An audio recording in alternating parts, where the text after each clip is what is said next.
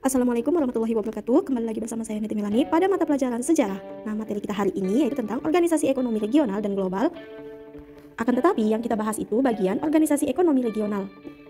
Di wilayah regional atau negara-negara yang berada di satu kawasan, Asia misalnya, ada enam organisasi yang perlu kamu ketahui.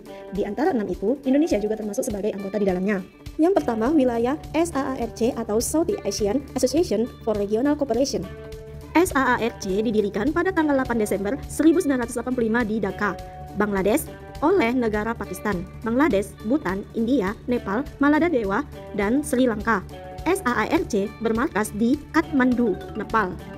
Berdirinya SAARC dilatar belakangi oleh keinginan negara-negara Asia Selatan untuk bekerja sama dengan semangat persaudaraan, kepercayaan, dan pengertian. Tujuan dari SAARC adalah untuk membangun perekonomian negara-negara anggota Asia Selatan. Momen penting dalam organisasi SAARC adalah ketika menerapkan South Free Trade Area tahun 2006 untuk mempermudah kegiatan perdagangan di Asia Selatan. Selain memiliki anggota tetap, SAARC juga mempunyai sembilan negara pengamat yaitu negara Amerika Serikat, Australia, Irian, Jepang, Korea Selatan, Mauritius, Myanmar, Tiongkok, dan Uni Eropa. Yang kedua, wilayah MEE atau Masyarakat Ekonomi Eropa. Pada tanggal 1 Juni 1955 ada sebuah pertemuan di Messina, Italia yang menunjuk Paul Henry Spaak atau Menteri Luar Negeri Belgia sebagai ketua komite yang harus menyusun laporan tentang kemungkinan kerjasama ke semua bidang ekonomi. Laporan komite Spaak berisi dua rancangan yang mengintegrasikan Eropa yaitu satu, membentuk European Economic Community atau EEC atau Masyarakat Ekonomi Eropa atau disebut MEE yang kedua, membentuk European Atomic Energy Community atau Euro Euratom atau Badan Tenaga Atom Eropa.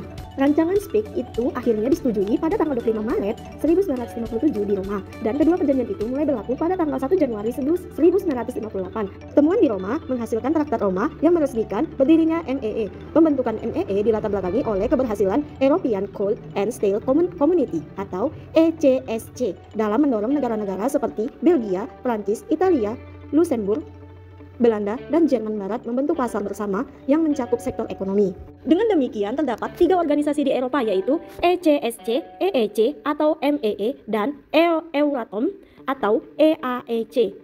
MEE menegaskan tujuannya antara lain yang pertama itu meningkatkan kerjasama ekonomi, memperbaiki taraf hidup, dan memperluas lapangan kerja.